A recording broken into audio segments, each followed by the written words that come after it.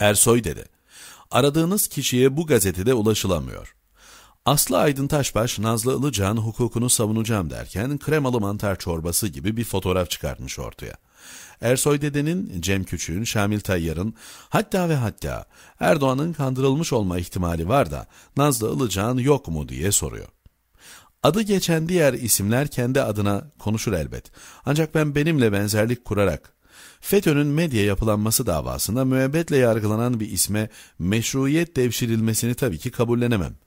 Bunu söylediğim zaman asla Aydın Taşbaş, sizin üzerinizden kimseye meşruiyet devşirmek niyetim yok. Sadece basit bir soru soruyorum. Herkesin aynı tezleri savunduğu dönemde Nazlı Hanım'ın da yanlış yapma hakkı yok mu demiş.'' Benimle Nazlı Ilıcak hangi zamanda hangi aynı tezleri savunmuş çok ciddi merak içindeyim.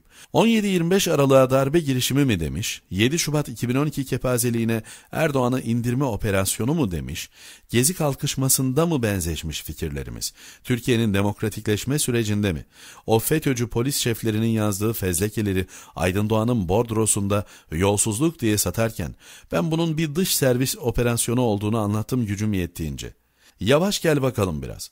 Dışarıdan bakınca herkes birbirine benziyor olabilir ama öyle değil. Aradığınız kişiye şu anda bu gazetede ulaşılamıyor. Bir de Yeni Şafak'la kararı deneyin isterseniz. Erdoğan'ı devre dışı bırakacaklarmış. Karar gazetesi yazarı Ali Bayramoğlu söylüyor geçenlerde. Ülkenin demokratikleşmesi için Erdoğan'ın devre dışı kalması, Abdullah Gül üzerinde mutabakata varılması gerekiyormuş. Bakar mısınız siyaset bilimi hocası Ali Bayramoğlu'nun düştüğü paradoksa?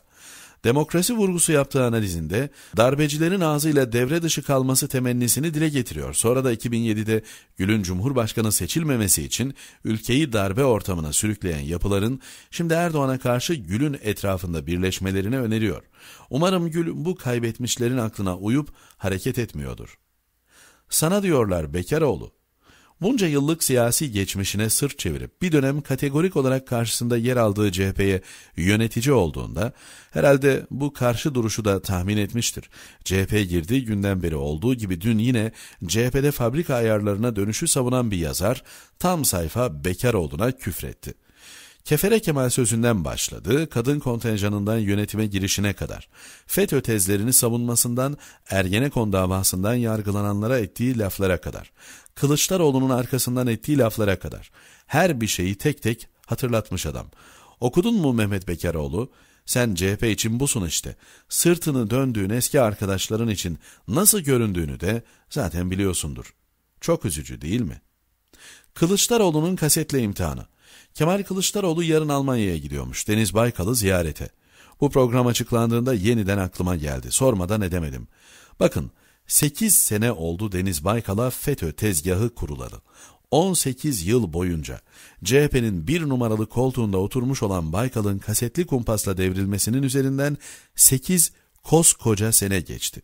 Daha ben Kılıçdaroğlu'nun böyle meydan meydan dolaşarak bu ahlaksız tertibi yapanlardan hesap sormak bizim de boynumuzun borcudur dediğine tanık olmadım. Basın mülakatlarında söylediği birkaç zoraki sözden öte bir iddia, bir hedef falan yok. CHP neden bunu vazife etmiyor sizce?